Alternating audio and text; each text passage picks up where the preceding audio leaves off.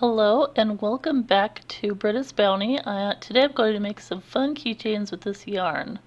Okay, so I'm going to make a s'mores out of yarn. I thought that would be the perfect summer keychain because who doesn't love s'mores when you're camping or even if you're in the backyard barbecuing or having a nice time around the, the fire.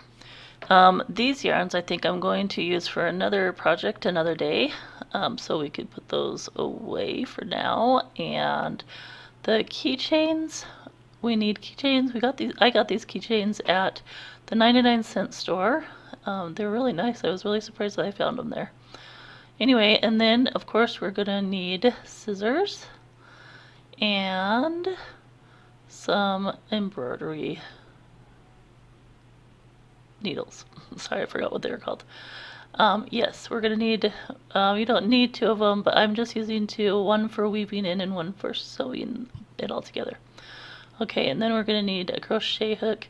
You can use any size. I used a F, I believe. Yes, it's an F and four millimeters. Um, I used a smaller one just because it is a smaller item that I'm going to be making and so just a little bit easier.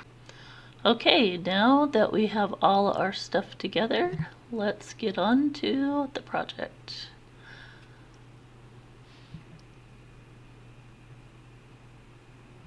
We won't need those, put those aside for now. And we are going to start with the marshmallow. We're going to make our cute little marshmallow. Alright, so let's get the white all ready. Looks like I got a knot in it. Let's take it out real quick. And we're going to start with a uh, slip, no, slip, slip knot, yes, a slip knot. And we are going to chain two as we're we'll be working in rounds this time not in rows we want to go around for the top of the marshmallow or the bottom whatever you want whatever you want to call it. And we are going to put six single crochets in the first chain that you made. It could be a little tight but but you can do it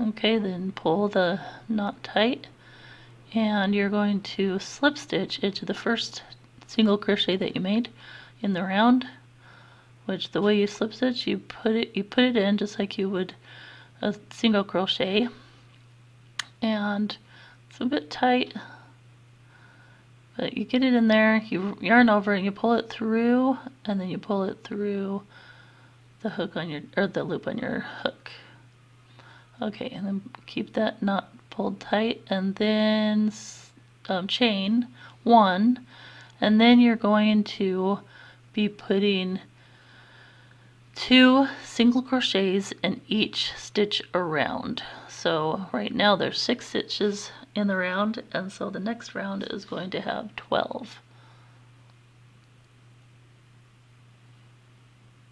And again, if you are new to my channel or you or you're new to crochet and you don't know what the heck I'm doing when I say single crochet or chain or slip stitch, you can go to my other video. I made a video teaching all this all the basic stitches and if you want you can go there um, in a few minutes there will be a little pop-up in the in the corner of this video. And you could just click on it and it will take you right to the video and then you can watch it and then come back. Right there I'm pointing right to it. Okay. Okay, I think we got it. Okay, so then just continue to do two single crochets in each stitch around until you have 12 stitches or 12 single crochets. They're called stitches or single crochets. You'll you'll find that I call them stitches because well they are stitches and we do more than just single crochet too so but in this project we're just doing single crochets for everything. Looks like I'm almost done. And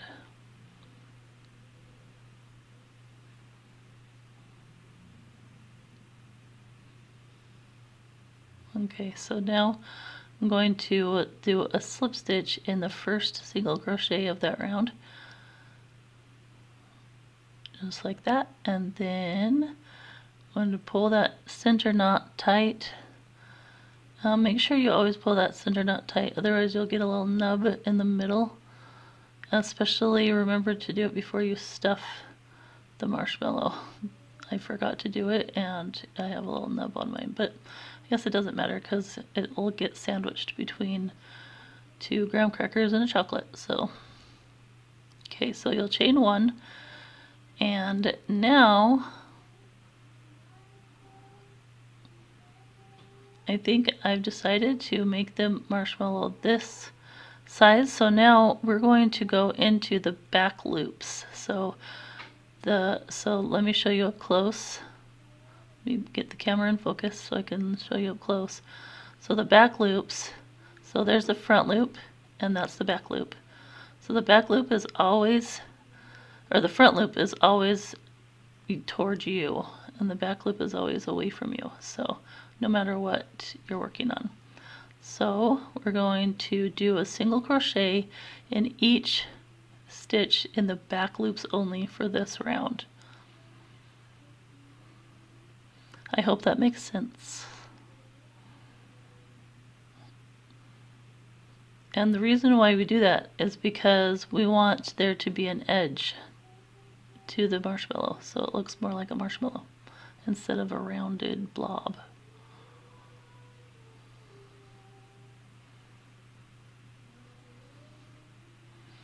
Oops, I put one stitch too many in there. Okay. There we go. And that, that's the thing about crochet too, it's very forgiving. You can just undo it and and redo it if you make a mistake.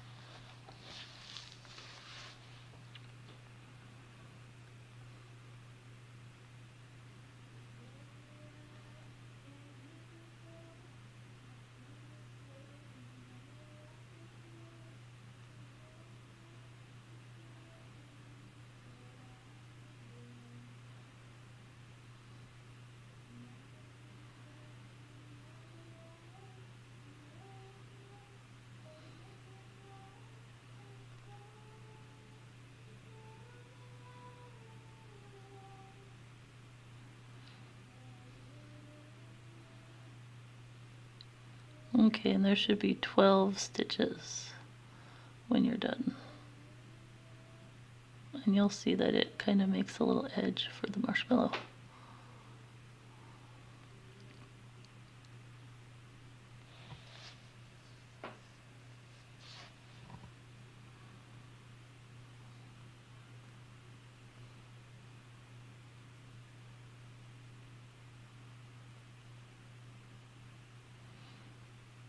Okay, so now we're going to slip stitch into both loops.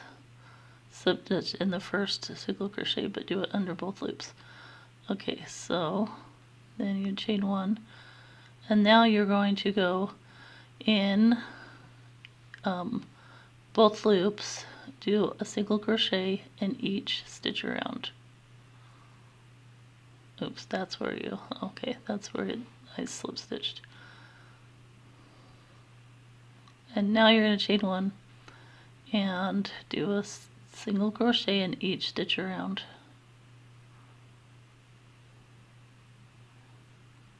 and you're going to do that until you have a good size marshmallow however big you want your marshmallow. And if you do want it to be wider, you can just go um, one more round and just increase, which all you'll do is do one single crochet in one stitch and then in the next stitch you'll do two single crochets in that same stitch. And that's your pattern all the way around. So you're increasing by one. So every time you do an increase you'll you'll do two single crochets in one stitch. Okay and now um, I'm going to get a marker out because I always lose track of where my first stitch is. So it's a good idea if you if you have that same problem. You can use a stitch marker like I am, or if you don't have one, you can use a piece of yarn works. You can thread it through, or a paper clip, or a safety pin, um, anything that can mark it. Then that way you don't have to count your stitches and you can just know exactly where you started and where to end. It's very handy.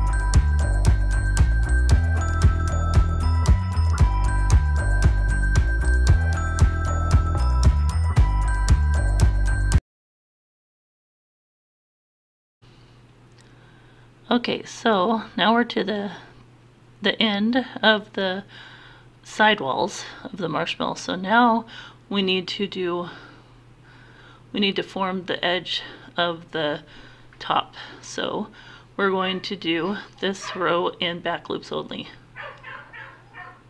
Just like that.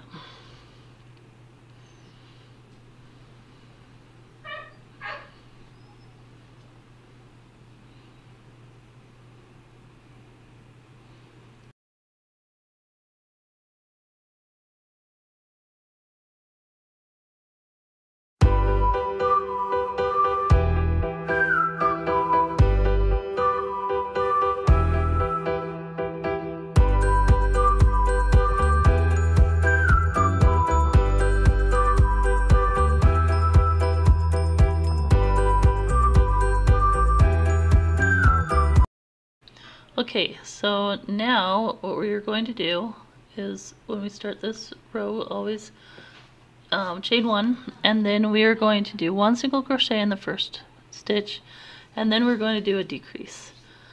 So this is how you do decrease. So you put it in just like you're doing a single crochet. You pull up the yarn, just like that. Okay, and then you have two loops on your hook so then you'll go into the next stitch and you'll pull up a, a yarn. You have three loops on your hook and you'll you'll pull it through all three loops so that it makes one stitch so you decrease. So now you're going to do one single crochet and then one decrease all the way around. So now it, instead of going from instead of doing 12 stitches you're going to have six stitches Okay, and there's another decrease.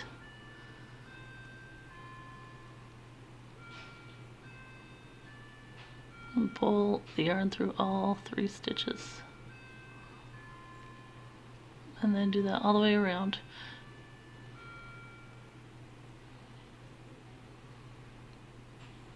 One single crochet and one decrease. Two loops on a hook it through the next stitch three loops on a hook yarn over and pull it through all three. One single crochet and then one decrease. And this should be the last one I think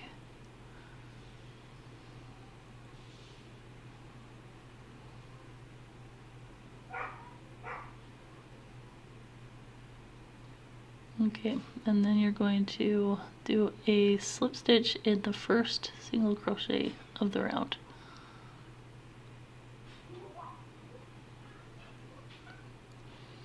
Now you're going to chain one.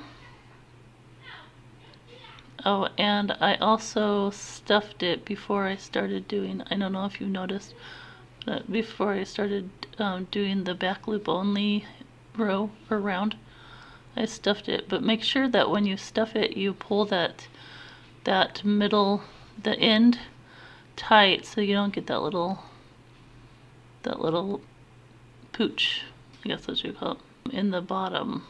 Although I guess it doesn't matter, like I said before, because it'll be sandwiched in between the chocolate and the graham.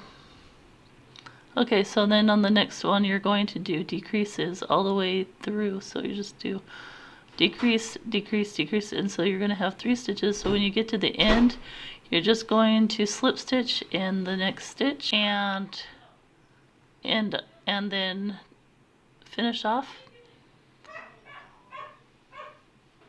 Yeah, I can just put it through. I just put it through any any loop or any stitch and then slip stitched and then pull pull that string out and cut it out. Yeah, see that little pooch right there? That's from not pulling the string tight before I stuffed it. But that's okay. Nobody will notice. Okay, then you will cut off your, you know, it doesn't matter how long it is just because we will we'll just uh, weave in the ends. And there's your cute little marshmallow. And you can put a little face on it if you want. I've seen that. And sorry if my if uh, my puppy is being loud, if you can hear that. But she is a puppy and she's just learning. Okay, so now we're going to get the embroidery uh, needle and we are just going to weave in the ends just like that.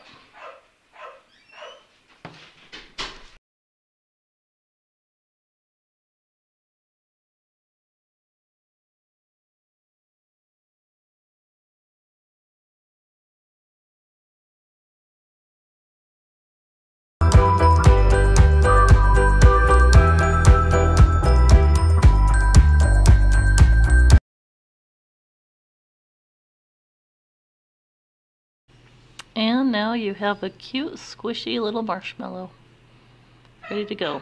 Alright, so now we'll set that aside after we squish it one more time. anyway, we'll set that aside and now we will do the graham cracker. And the graham cracker, you'll do the same thing with the other graham cracker obviously and with the chocolate. So um, I'm going to show you how to start the graham cracker and then I will come back when I have the graham cracker and the chocolate made. So um, for now, the um, you start out with 10 uh, chains in your yarn and yeah see or or I did 10 but you could do more if you wanted or less if you thought it was if you, don't want your graham cracker to be as big as mine Okay, so then don't count the loop on your hook. Go into the second chain from hook and and single crochet and then you'll single crochet all the way across.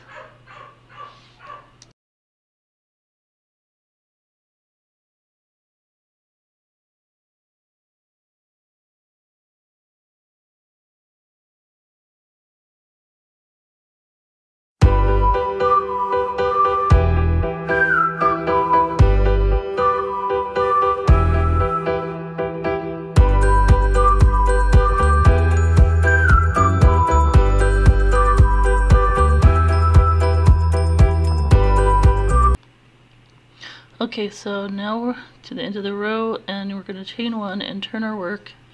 And then we're going to just keep doing single crochets all the way across, chain one, do single crochet all the way across, and that will be our pattern until we have a graham cracker that is to our liking, whatever size you want it. Okay, so now that you know the pattern, if you're following along, you can do your pieces and I'll do my pieces and I will be right back.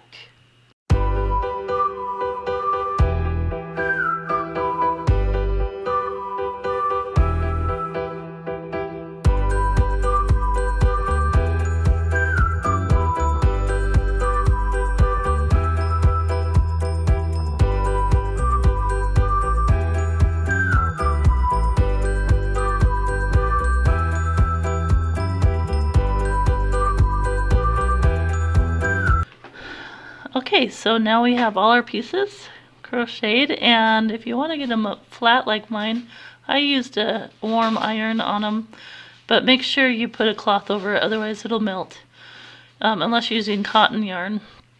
But anyway, so then you stack them up how you want it. I kind of staggered mine a little bit to make give it more dimension and texture. And then get it to how you like it and then you take some more yarn, some brown yarn, uh, the light brown yarn, and clip a good size of it.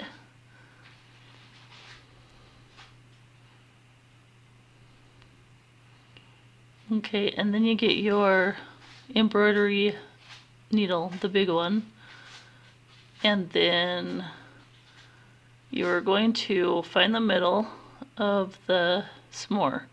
So you want to go right up through the middle of the marshmallow and everything. It's going to be kind of hard to get it through, but but you can work it through.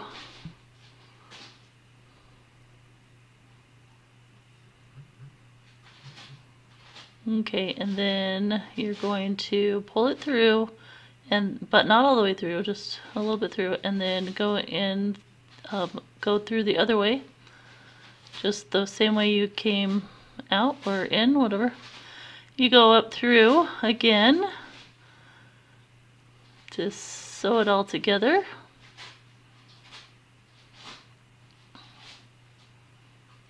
And then, and make sure your pieces are long because um, I made the mistake of cutting mine too short and it was really hard to tie them. You'll see in a minute. So make sure you cut your pieces long. Don't do what I'm doing. See how that one end is shorter? Just make sure it's a little longer. It just makes it so much easier to tie.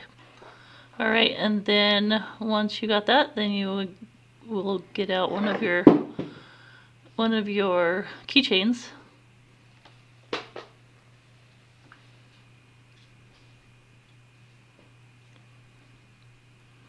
I can get it open. There you go. Then take it out. And then all you'll do is loop it on there, tie a knot.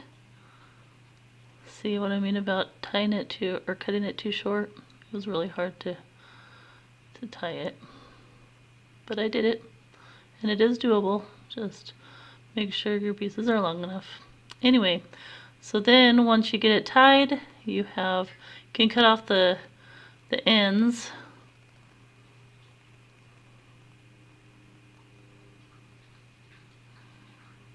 And so they're not like in the way. And then once you have it on there you have a cute little keychain. Alright so uh, like always thank you for taking the time out of your day to watch my my video and if you like it please uh, thumbs up. Um, Bella approves. And please subscribe and share with your friends. And have a great day. All right, bye.